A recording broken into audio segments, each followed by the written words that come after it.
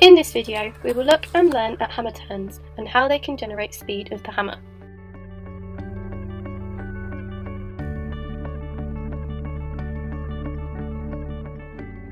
Hammer turns generate further speed onto the hammer, more than just the swings and the delivery phase.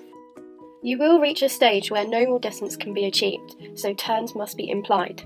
Adding turns doesn't mean you forget anything you have learnt so far, everything will be important as you'll be joining all the stages together. As stated in our previous video, any throwing of the hammer implement must be done in the hammer cage. Under 18s must have a qualified coach present at all times. For this activity, you might find it easier using a pair of hammer throwing shoes or a pair of trainers with a flat sole. Okay, let's get started. Don't worry about holding the hammer or what the arm should be doing yet, we're only looking at the feet. There is only one way to turn, with no substitute. Feet travel in the direction the hammer does. This will be the right-handed turns, however if you're left-handed, it will be exactly the same, just turning in the opposite direction. Start with feet shoulder width apart, just as we would have done if we were doing swings. Legs must be bent. Left foot transfers to the heel, while the right foot turns on the ball of the foot. When feet have turned to the 12 o'clock position, the left foot transfers onto the ball of the foot. As this happens, the right foot lifts from the ground and lands at about 11 o'clock. On landing, both feet should be on the ball of the foot. When lifting the right foot from the ground, it should only just come above the left side's ankle. This is because it needs to land on the floor as quick as possible, so the hammer is in the correct place to reduce the risk of pulling you out of the circle. Here, my right leg is way too high. This is not what we want to see. It will, however, take a few practices. You might find it easier to hold a brim between your neck and shoulders so you can just focus on your feet. Try not to look down too much. Let your feet do the work. Let's now talk about the arms and the head. Arms follow the direction you are travelling as well as the hammer path. Remember we talked about the height and low point in our previous video.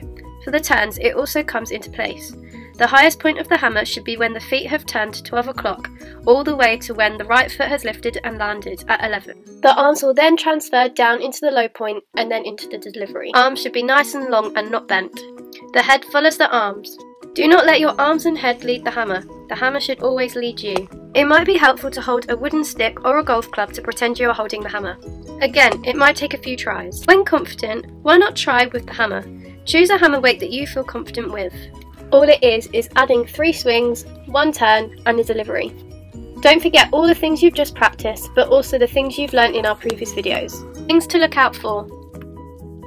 Overturn, when the foot lands too late because it's delayed landing, or the hammer entry from the swings was off and not in the centre. Underturn, landed too early causing a delivery in the cage. Bent arms, arms must be long. Entry point, must be in front of the body and not late. Straight legs. Legs must be bent for balance.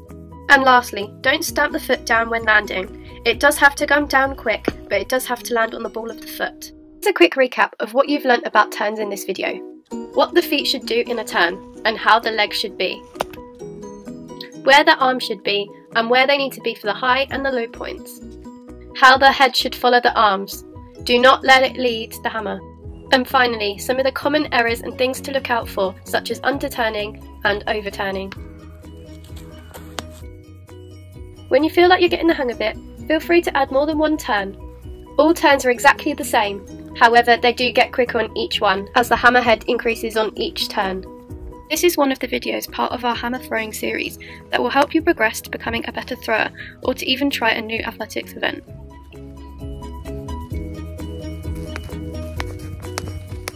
Thanks for watching. If you liked the video, hit the subscribe button and check out some of our other great videos. To find out a little bit more about us, check out our website and social media pages on screen.